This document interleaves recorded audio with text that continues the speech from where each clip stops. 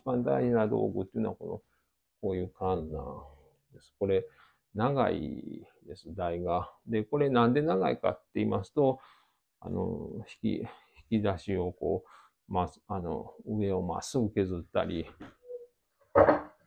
こうまっすぐ削ったり、まあ、ここもまっすぐ削って、あの、引き出しをこうピタッと合うようにえ調整するんですけど、それの、長い、こ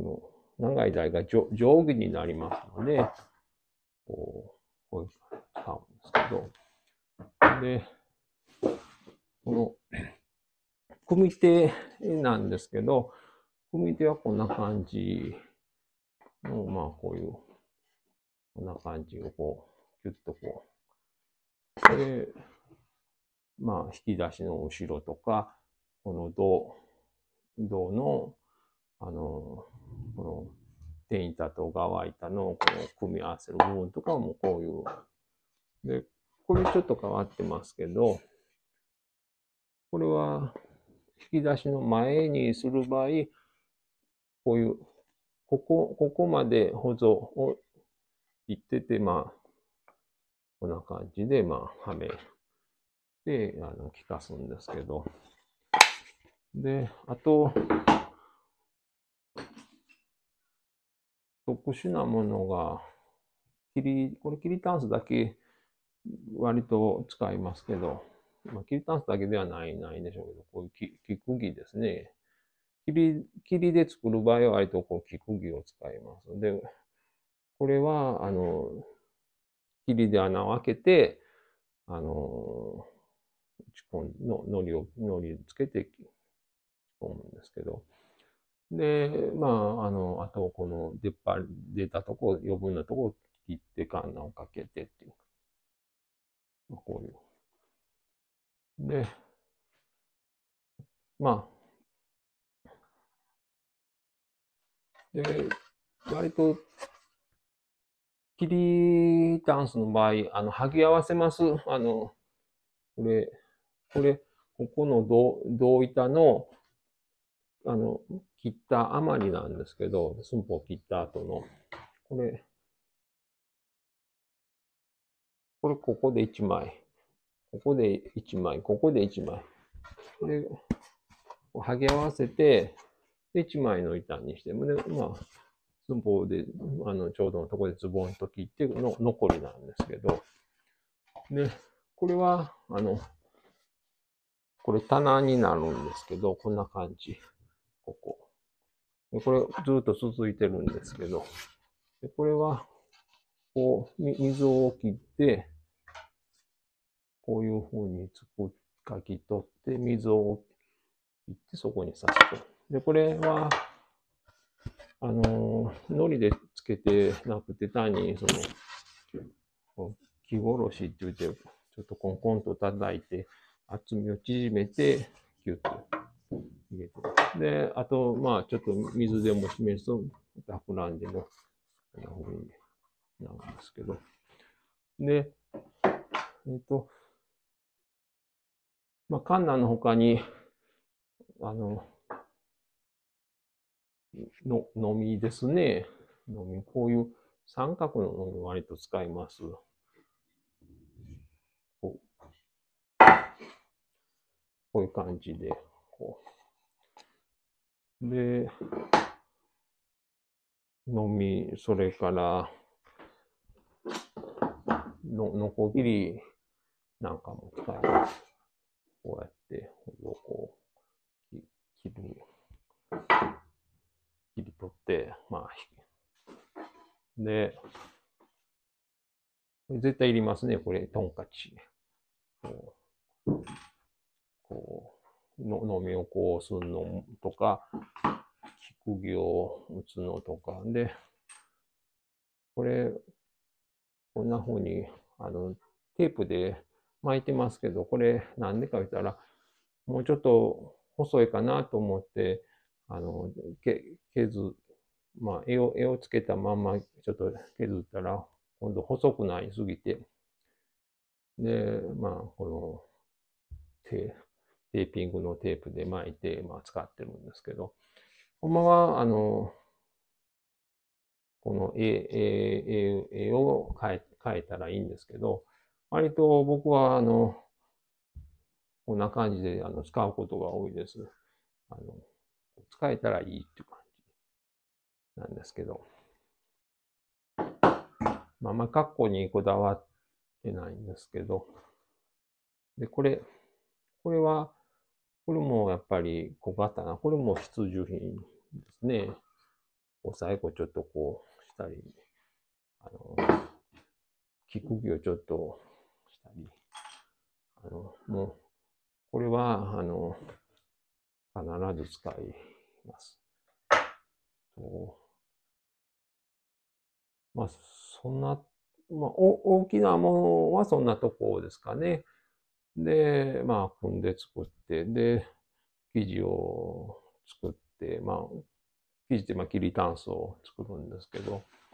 で、最後、あの、やっぱりカンナでこう削って仕上げて、まあ、調整もして、という感じですね。で、次は、その、漆の作業に入りますけど、漆の作業は、あの、まず最初、漆をこの生地に染み込ませますけど、で、それから布をこう、着せ、で、布は、あの、着せるのは、あの、米の海苔。米の海苔って言いますのは、上新粉と水を溶いて、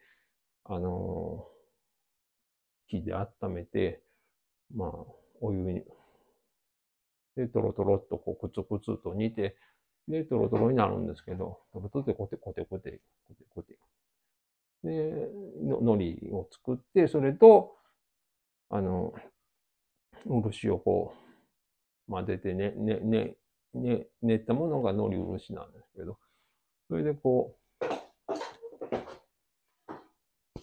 それをつけてこう、ピタッとこう、貼って、こんな感じ。まあこれ、胴、胴体ですと、こんな感じでこう貼っていくね。まあこっちもこう、まあ巻き込んでるんですけど、ここもこう巻き込んで。で、で、あの、それが、それから今度下地をつけるんですけど、下地っていうのはまあ漆の下地なんですけど、うちはすべて漆、1から最後まで漆を使うんですけど、えっと、その、それ、下地っていうのは土の粉と漆を混ぜるんです。まあ、あと、それにちょっと、ちょっとでまあ、水で、あの、練ったり、えー、海苔、先ほどの海苔もちょっと入れたりしますけども、まあ、基本、まあ、土と漆を混ぜて、で、作るんですけど、それをこう、ヘラでつけるんですけど、ヘラ、ヘラっていうのはこういうヘラ。これも大きいの、小さいの、これ、いろいろあります。作ります。ここがこう丸したり、まあ、曲面のとこはこう丸したりして、こう、で、大きいので、えっ、ー、と、しなり具合も、まあ、自分でこう削って調整します。こう、こうわかるこう。あんまりするとバキッといったらかなんので、これはちょっと固めにしてますけど、こんな感じですね。で、まあ、削って、えー、作作るんですけど、あの、これ、こういう、あの、怖い道具を使い、漆の作業ってこれは、あの、まあ、の、のしや包丁って言いますけど、このあの、あの、まあ、あの、あの、まあ、こんな、あの、も、も、も、持ち歩いてる人も、たまには、まあ、いい、いい品と思いますけど、まあこういう怖い。で、これで、あの、ヒノキの板をこう、バサッと割って、こういうふうに、あの、まあ、僕は、あの、まあ、もちろんこうこういう道具も使いますけど、割と、こういう小刀、ね、切り出し小刀とか、まあ、栗小刀とか、それから、まあ、ここういうカンナのち小さいので、うん、割と、こういう、こう削りますね。で、こういう、こういうちょっと歯、歯の、こう、あのま、丸く、あの、研いでますけど、こう、こういう格好で。でまあ、使いよいので、こんな風に、あの、き、き、切れ歯を、まあ、あの研いで丸くしてますけど、これも安い、あの、近所の行きつけの金物屋さんで、だいぶ前に買うて、割と使いようにで、まあ、使ってますけど、この、ちょうどこの角度が、まあ、使いよう。まあ、そんな風に、あの、案外、その、この、塗りでも、あの、こういう刃物って結構使います。あの、布貼った時の余分な布をこう落としたり、ね。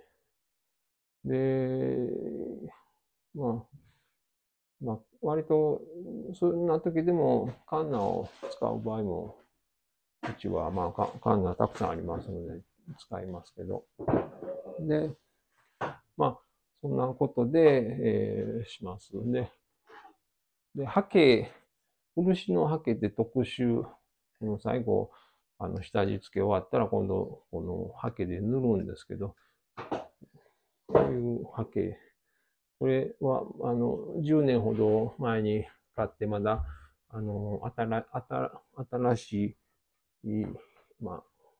10年ほども古いもんですが、まだ一回も使ってないんですけど、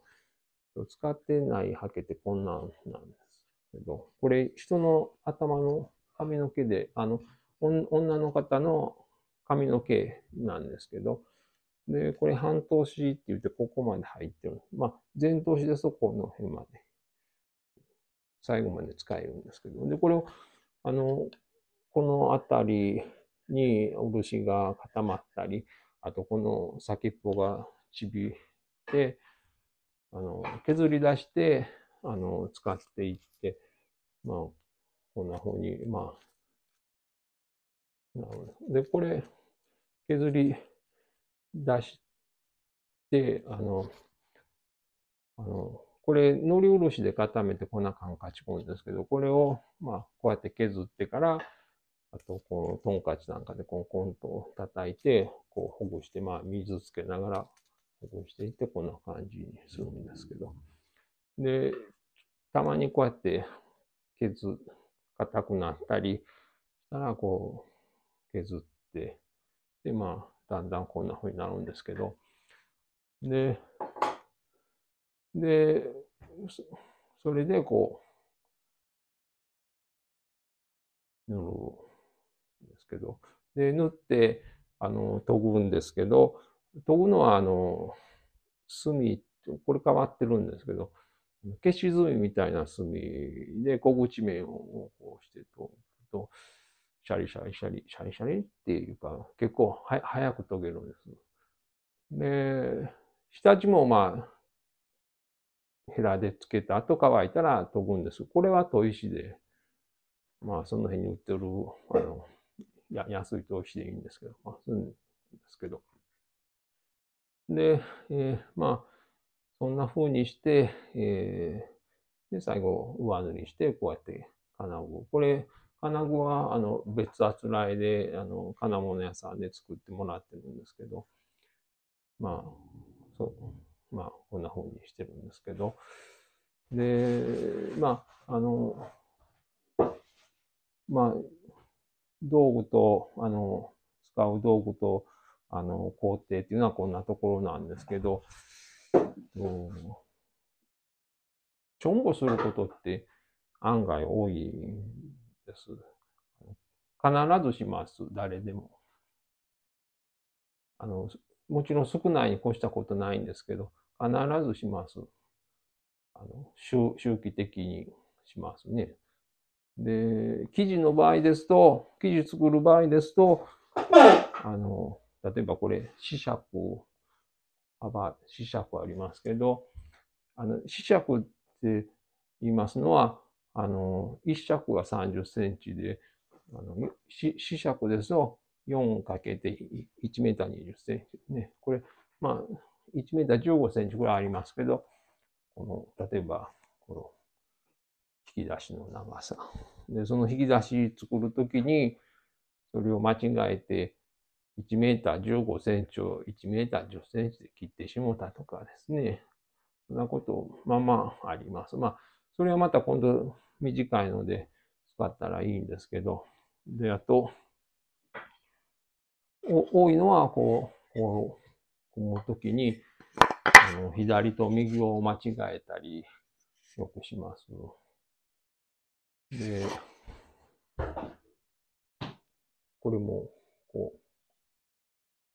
う、えー、み、み、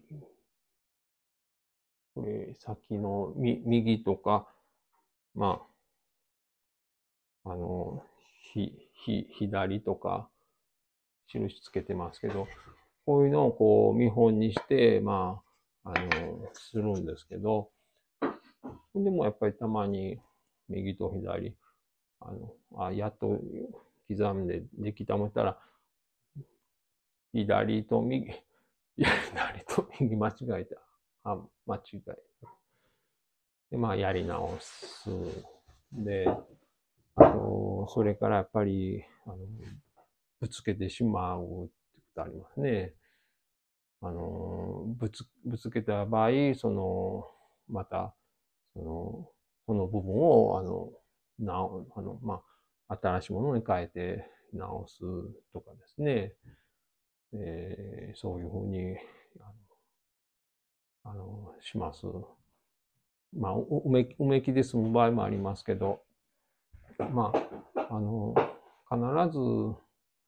あの、ありますね。で、塗りの場合でもやっぱりあります。うん、一番多いのは、あの、ハケ持って塗るとき、まあ、漆を塗ってですね、あの、それが、まあ、垂れ、垂れて、か、あの、か、あの、か、まあ、ぐちゅぐちゅっと縮んで、まあ、固まってしまう。そういうことあります。次の日見たら、あ、垂れて、あの、縮んで固まって、でもそういう場合もまた、こう、剥が、それを剥がして、また塗り直さなあかんですけど、で、あの、漆って、まあ、いろいろ、あのあるんですけど、これ透明の漆で、漆のままですとこんな感じですんで、それに朱の顔料をこう、ま、混ぜて、練り合わせて塗りますとこんな感じ。で、あと黒の漆ですね。で、これ、あの、漆ってその、一つずつ、その、やっぱ癖がありますので、こう、こうやって、これ、まあ、印打ってますけど、あの、ここ、この漆、この漆、この漆で、まあ、こう試しにこうしてるんですけど、何でも必要なんですけど。で、それでその乾き加減とか、あの、艶とか、あの、垂れ具合とか、こう、漆によって硬い漆と柔らかい漆とかあって、で、垂れたり、垂れやすい漆、垂れにくい漆、ありますね。乾きが遅い。はい。ね。そんなんで、こう、あのこういうふうにするんですけど、それでも実際塗ってみると、あの、早いこと乾きすぎておかしくなったりですね、あの、えー、た、た、さっき垂れたり、で、雨が降りますと、漆して早いこと乾くんです。あの、湿気が多くなるって。で、漆は空気中の水分と酸素をこう吸って固まりますので、雨の日、あの、のの朝は晴れててカラッとしてたけど、あの、長いことかかって、あの、雨が降ってきて、じゃじゃ降りやったとかいうとき、今度はその早いこと書いて、ちょっと朝塗ったあれと、昼から塗ったあれと、こう、乾き加減が変わって、色と艶が変わったり、まあ、そんなことも。で、やっぱり、ぶつけれて塗り直さなあかん時もあります。で、あの、今回もですね、これ、まあ、上塗り、ちょっと、やり直したんですけど、で、まあ、あの、まあ、ちょんぼしてやり直したんですけど、上塗りを。で、やっぱりガクッときます、ちょんぼ。で、で、その塗り直すときに今度ハケも気になって、あの、削り出したんですけど、ま、またこう、ズバッと切って、でもまあ、な、中、結構中までその、虫が染み込んでたりして、あの、まあ、あの、厄介やったんですけど、で、割と、そんなことって、あの、ガクッとくることで、まあ、ハケ切り出してうまいことを、こう、いかへん。ま、またガクッと。で、か、あの、ガクッとくることって案外続、続くんですけど、でもまあまあ、あのー、こう、最後まあ、まあこうやって、まあ、出来上がってますけど、で、そんな時、こう、ちょっとまあ、しごかれたなってこう思いますね。後から振り返りますと、あの、漆の神さんか職人の神さんに、あの、ちょっとしごかれたかなって、まあ、ふと思思ったりすることがあります。で、まあ、あの、ちょっと取り留めのない話になりましたけど、まあ、あの、今日の話はこれで終わりです。ちょっと中途半端ですけど、失礼いたします。